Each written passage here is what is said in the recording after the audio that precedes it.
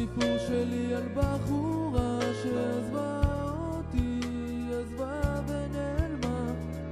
ואני פה היום שואל האם זה פייר, האם זה ייתכן שהסיבה היא לא ידועה שהיא ברחה מעיניי ונעלמה? ואני נשבע היום שאעשה הכל להתעורר